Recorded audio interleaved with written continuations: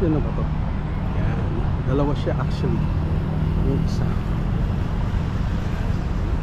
Yung kalabaw. Statwa. Tapos sa kabilang side, meron din isa. Hmm. Tapos ito yung pinaka ang matawag dito. Monument, marker. Okay, lapitan natin. Tingnan natin nakalagay.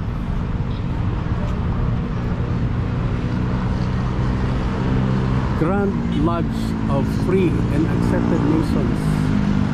In the Lord is our trust. The successful revolution of the 1896 was Masonically inspired, Masonically led, and uh, Masonically executed. And I venture to say that the first Philippine Republic, of which I was its humble president, was an achievement we owe largely to Masonry and the Masons. Emilio Aguinaldo.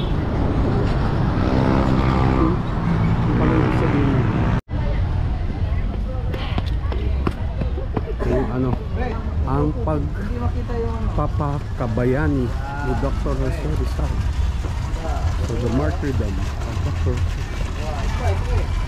Sila ka nakapag dito. Dito, dito, dito. Yan, yung mga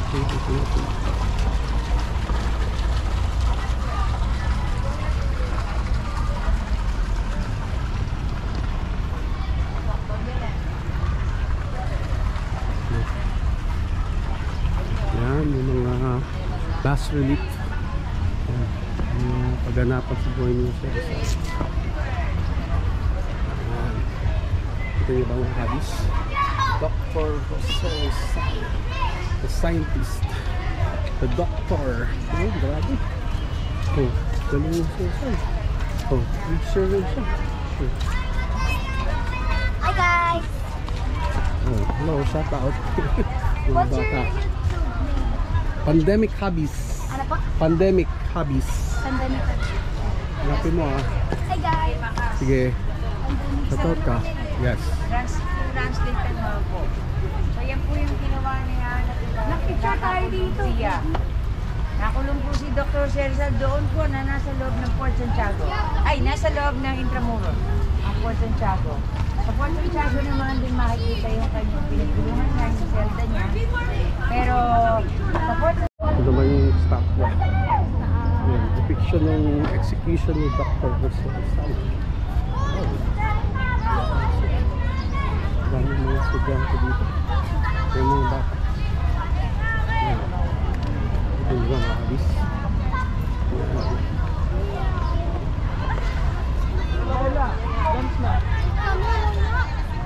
Daming field trip ngayon ng mga bata.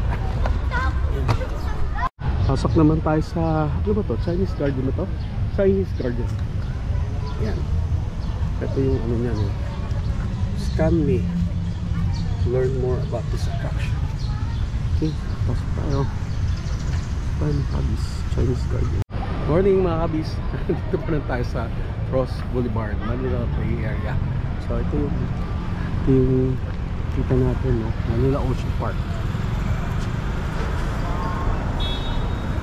And then H2 Hotel, pero sarado natin. Ito yung Quirino Grandstand. Okay, sa kaliwa. And then, yun yung Manila Hotel doon. Yan, sa gitna. Ito yung Luneta Park. Okay, lakad-lakad tayo ngayon. Sunday, mga kabis. Gala-gala muna kita dito. Samahan nyo ako.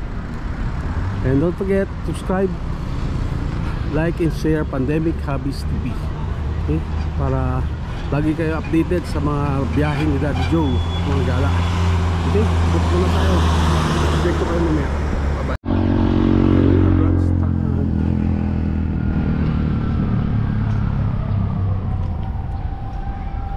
Yan, sikat na sikat to dati. Mga 80s, 90s ngayon. Wala na. Dami ng bagong lugar. Okay? Okay, ang Quirino Grandstand. Okay mga kabis. Kaya Sunday today, kaya dami mga kabataan dito. mga family. Family day. Day. Yan, lakad-lakad tayo. Ikot-ikot tayo. Yan. Yan, Manila Hotel yan. Ito tayo dyan mamaya. Okay. Mga bata. May mga bata dito. Ayun, yung gwardiya oh. Nagbabawal na pumasok dito. Ayan. Ito yung statue ni Rizal na parang matagal nang hindi rehabilitate. Ah, Lakad pa tayo mga kabis. Natin makita natin dito. Dito tayo dun sa malaking flag ng Pilipinas. Saka yung Rizal Monument. Sa mga hindi pa nakakapagdalo sa Luneta Park, ito yung makikita nyo ngayon. May preview na kayo. Ayan, Quirino Grandstand sa likod, H2O sa left, Manila Hotels sa right, and then dito sa likod yung Rizal Monument. Okay, tayo.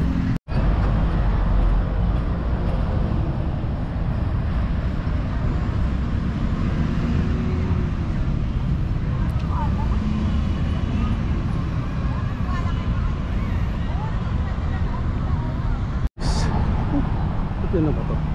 Yan. Actually. Yung isa. Yung kalabaw. Statwa. Tapos sa kabilang side, meron din isa. Hmm. Tapos ito yung pinaka matawag dito.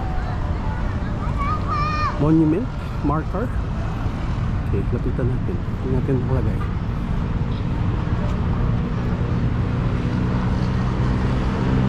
Grand Lodge of Free and Accepted Nations. In the Lord is our trust. The successful revolution of the 1896 was Masonically inspired, Masonically led, and uh, Masonically executed. And I venture to say that the first Philippine Republic, of which I was its humble president, was an achievement we owe largely to Masonry and the Masons. Emilio Aguinaldo.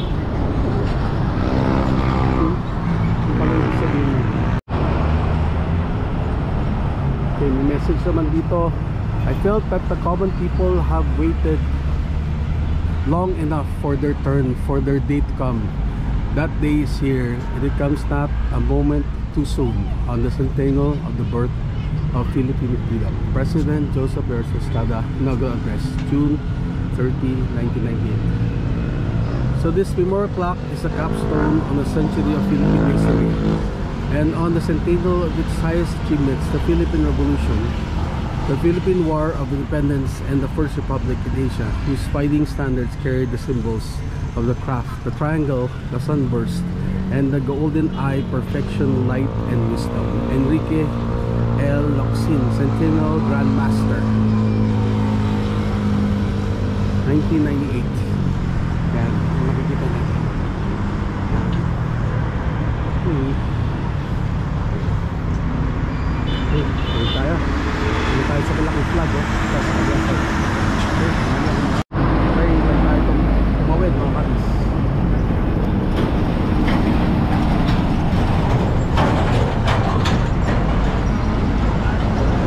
Dito sa Roscoe Park.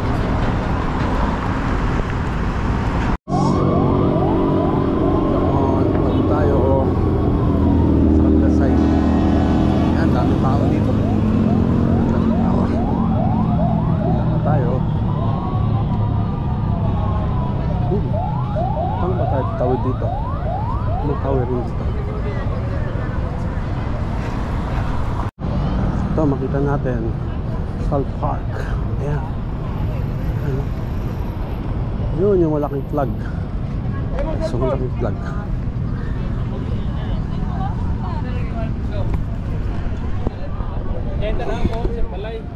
Okay. Giant flag. Ayun, ito yung bang pinakalagay dito. First cabinet of the Philippine of the uh, first cabinet of the President Honorary Enrique Quirino. First Supreme Court of the Philippines. So, as a sign of respect to civil national independence, Jackson Rose's father, President Robert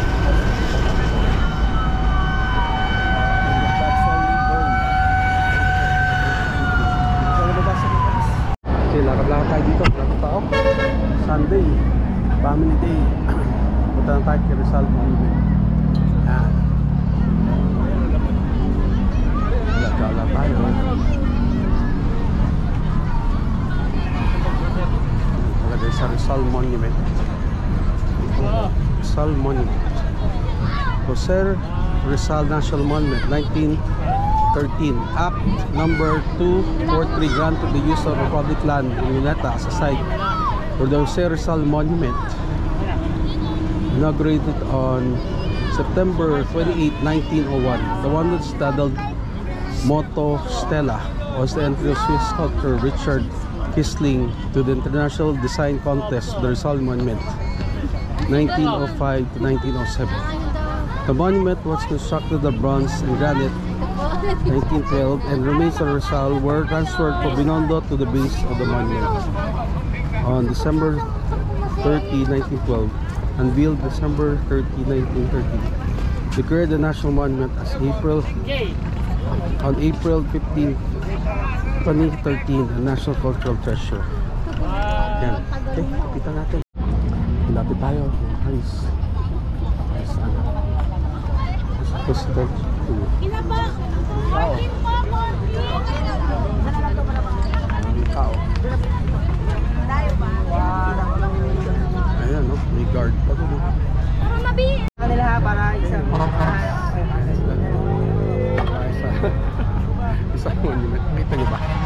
Kita nyo ba?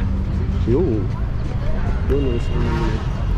Ang dami nagpapapicture. Ikot na kayo. Doon sa may ah, Yun, sa dome. Ah, pinagbarilan sir. Yun. Ang dito. Okay. Lakad pa tayo. Alis.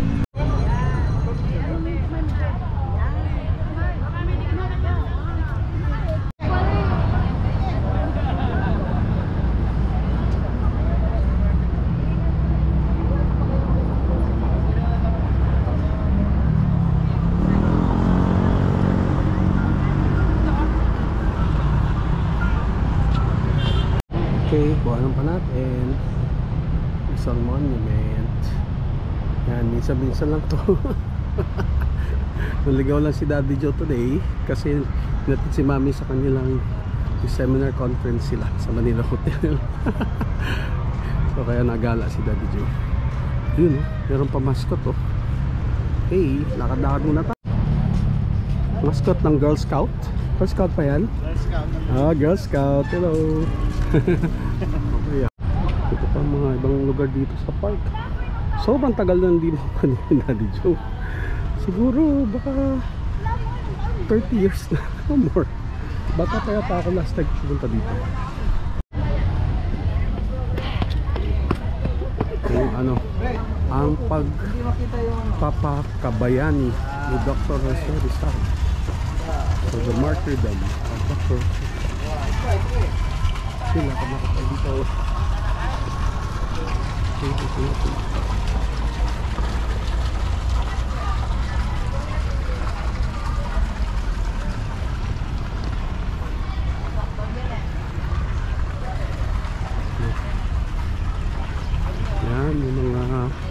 last relief.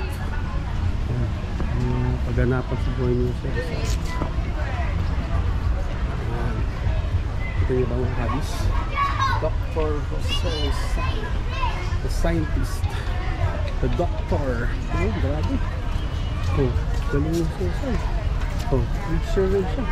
Oh, Hi guys! oh, hello, shout out. Yung What's your. YouTube name? Pandemic hobbies. Ano po? Pandemic hobbies. Pandemic. Hanapin mo ah. Hi guys! Sige, shout out ka. Yes. Trans translate na po. So yan po yung ginawa niya. Nag-picture tayo dito. Iya. Nakulong po si Dr. Sersa doon po na nasa loob ng Fort Santiago. Ay, nasa loob ng Intramuros, ang Fort Santiago. Sa Fort Santiago naman din makikita yung kanyang pinagulungan niya, yung selda niya. Pero sa Fort Ito naman yung staff niya. Yan, depiction ng execution ni Dr. Oh. Dami mga estudyante dito. Yan mga bata. Tura mga kabis.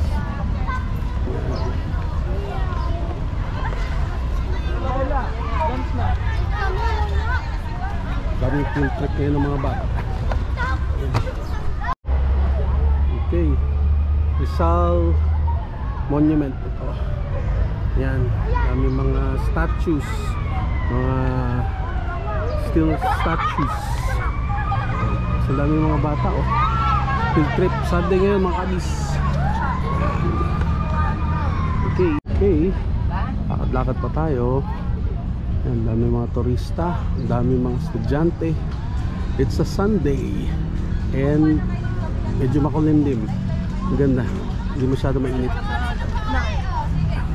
Tayo. Pasok naman tayo sa, ano ba to? Chinese garden ba to? Chinese garden. Yan.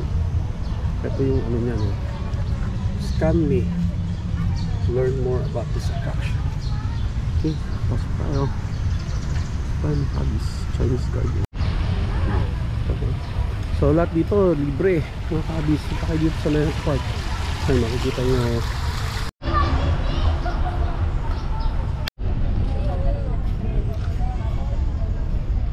Yan, Chinese Garden. Ayan. Mga pa sila dito. Tapos, yan. Ayan.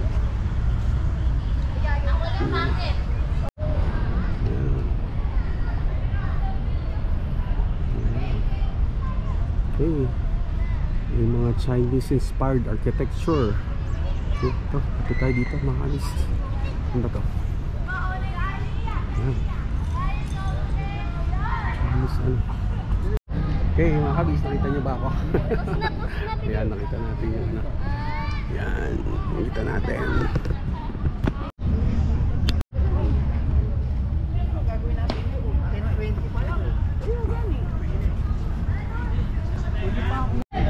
Okay, lakad-lakad tayo mga kabis. Pa rin Joe. Lakad-lakad. Lakad-lakad. Dami tayo makikita dito. Okay.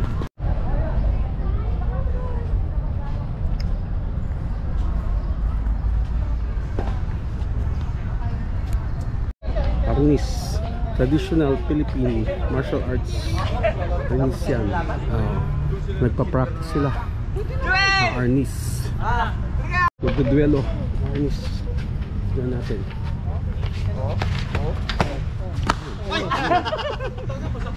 Sakit ko na. Sa sa ulo? Oo. Yung kailan naka gear eh. Wala kasi yun lang, may May mas. naman eh. Maganda yung may headgear May na. helmet naman. Ipahinga muna tayo dito sa sa pagoda. Ito makikita niyo sa ilalim. Pagoda. Yan ang mga design yan. Good. Yan design. Okay, pahinga muna. Pahinga, pahinga muna. Pugo na tayo dito.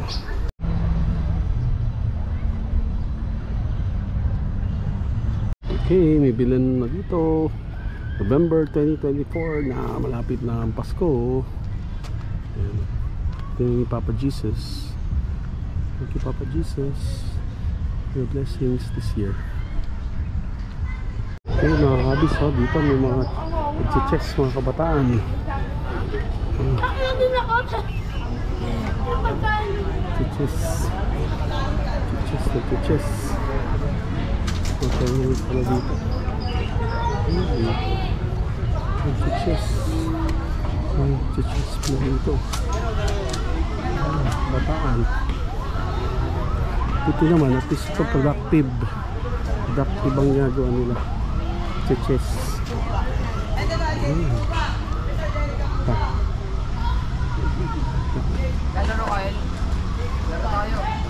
kayo kuya. Ano ba? Eh, ano ba? Oh, mga habis. Picture ano. Dami kanina, nawala at tuloy. Labo na ano. Ayun oh. Ayun, sila pula po pa eh. Hmm. Yan, nalipot na natin yung Rizal Park. Balik na tayo mga kalis. Padalis vlog. Lapo-lapo.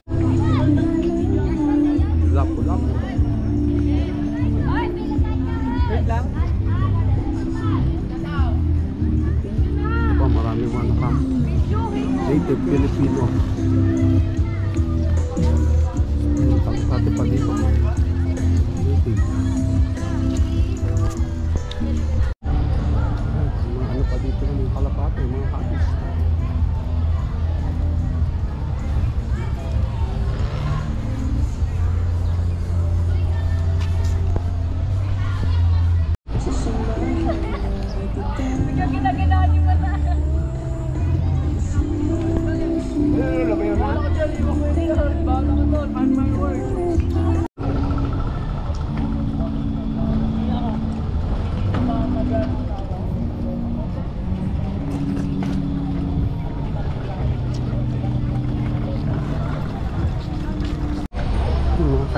Dito. Mami Pares, available. Kahit kainan.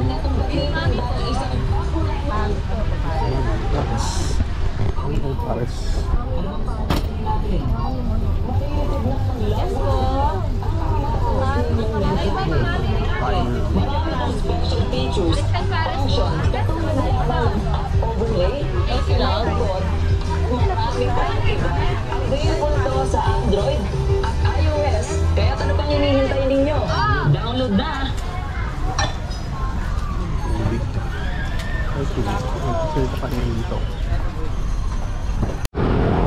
Kabis.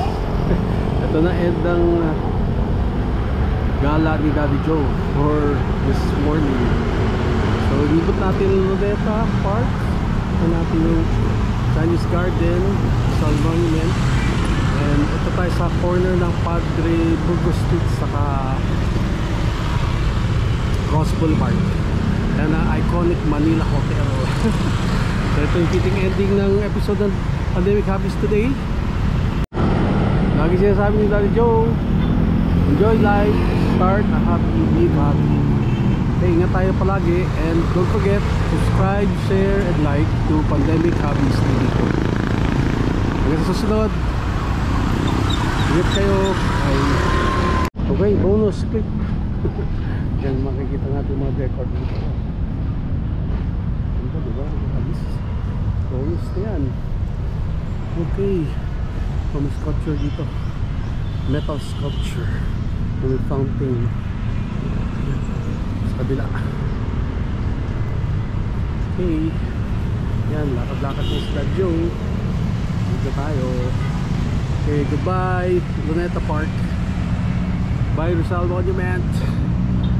Bye Ross Boulevard, Manila. Signing off si Daddy Joe. Bye. subscribe, share, and like to your friends.